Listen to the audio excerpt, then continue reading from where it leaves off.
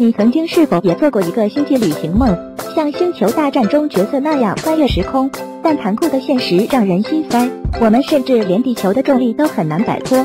不过没关系，今天我们来看看星战中那些仿佛置身于另一个星球的真实取景地。看完你会发现，在传说中的星际旅行，其实就在你身边。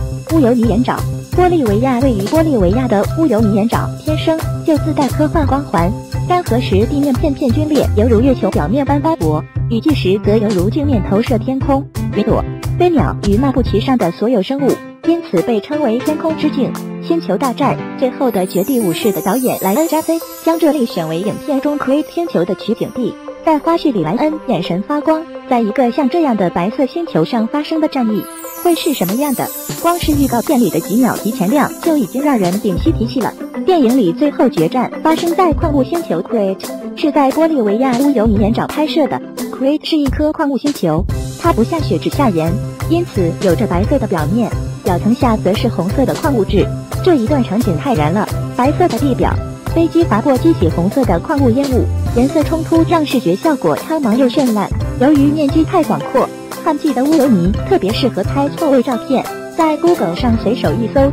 都是全世界各地游客留下的开脑洞创作。雨季的乌尤尼温柔又空灵，所有人都看过照片，就是传说中的天空之镜。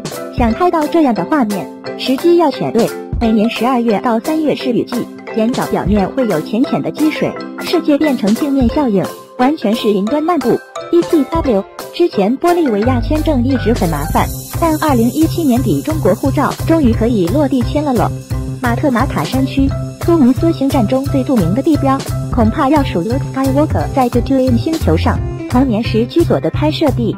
如果只选一个地方去朝圣，那大部分星战迷心目中的首选应该都是突尼斯。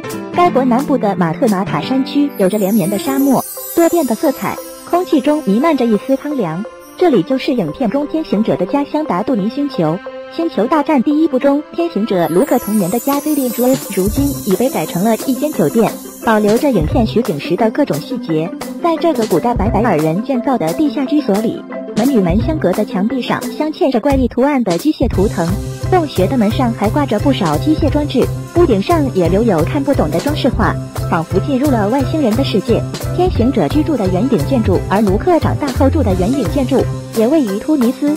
那是一处距离已经干涸的杰瑞特盐湖三百公里开外的地点，具体坐标为北纬三十三度五十三十四点四二，东经纬度四十六四十四点四八。它周围的陨石坑都是人造的，以制造出一种地下室就在旁边的幻觉。一九九七年，这个圆形建筑曾被拆除，后来为了拍摄克隆人进攻，它又被重建了，并用风扇对它进行了修复。它附近就是大沙丘，也是影片中沙海的拍摄地。斯凯利麦克尔岛，爱尔兰在上一部的结尾，瑞终于在一座荒芜的修道院找到了隐居于此的天行者卢克。这个用石头垒砌的修道院非常古老，修建于公元七世纪。多年来，他就这样静静矗立在岛屿的最高处，俯瞰大海。修道院所在的岛屿名为斯凯利麦克尔岛，位于爱尔兰西南部凯里郡海岸外十五公里，是爱尔兰唯二的联合国世界文化遗产之一，也是全世界最难到达的世界文化遗产。自十六世纪开始，该岛成为教徒朝圣的目的地之一，但是没有永久居民。目前这个岛屿仅在每年五月至九月开放，每年五月到九月才能坐船登岛，而且有人数限制，需要提前预约，并且常常因为天气原因无法登岛。由于风化严重，当地政府近年来甚至一直在考虑关闭该岛。小岛神秘缥缈，看照片总会让人怀疑它是不是真实的一个存在。此外，位于爱尔兰主岛的最南边科克郡也是星战系列的取景地之一。这里最著名的景点是一个已有二百多年历史的英国市场，贩卖各种生鲜、蔬果和家居用品。黑沙滩，冰岛有“地球上的月球”之称的冰岛是有一个科幻剧集的取景的最爱。从《普罗米修斯》《地心历险记》到《权力的游戏》，几乎所有有着宏大史诗场面的剧集都离不开这个岛屿。岛上最著名的黑沙滩 r e n e s f l o r y 也曾作为行星力度出现在2016年的《侠盗一号：星球大战外传》的开头。黑沙滩曾用作影片中行星一路的取景的 r e n e s f l o r a 沙滩，吉林风景如画的维克小镇，与风琴岩峭壁相伴。黑沙其实是海底火山喷发后的高温岩浆遇海水迅速冷却形成的熔岩颗粒。闪着光亮的白色浪花，深蓝寒冷的北大西洋与黑沉沉的沙砾，让这里的海滩有一种奇丽安静的美感。加利福尼亚红木国家公园，美国美国加州的红木林国家公园是世界上最古老的原始森林之一，林中有许多上千年树龄的红杉，可能因为这里的红杉高大的都不像地球上生长的物种。星球大战三：绝地归来中，那个毛茸茸的外星族群 Uru 就选择把他们的月亮森林之家安放在加州一颗颗巨型红杉之间。大部分经典的场景都在一家木材公司的私有土地上拍摄。一九八二年，剧组开始绝地归来的拍摄，大量的伐木工作使得大部分景观变得面目全非。但是开车穿过公园时，仍然有身临其境的感觉，尤其是在 Giant 高速公路上的时候。阿布扎比。阿联酋星球大战：原力觉醒第一个场景甲库星球就是在这里拍摄的。这片世界上最大的沙漠海洋，当仁不让，成为全片出镜最多的外景。当然了，你也可以把它当做这是阿联酋政府为电影剧组提供百分之三十的返现所换来的。与迪拜形成鲜明的对比，阿布扎比的奢华更显内敛。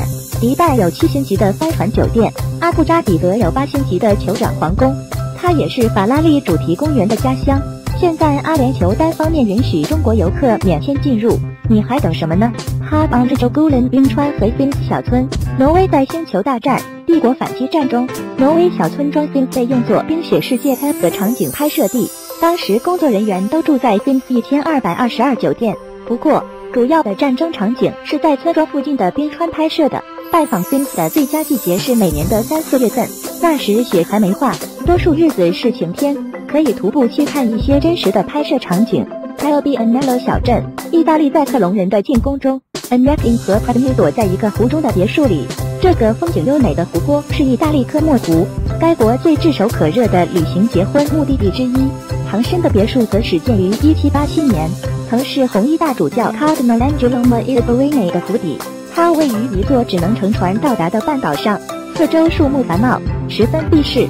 LBNello 小镇地处在一个树木繁茂的、只能乘船达到的半岛上。James Bond 在007皇家赌场中常来这里。而除了我们在上面提到的这些地方，星战系列的取景的还包括泰国、克罗地亚、西班牙。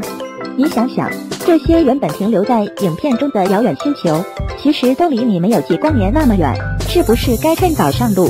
世界那么大，寒冷阻挡不了你冲向蓝天。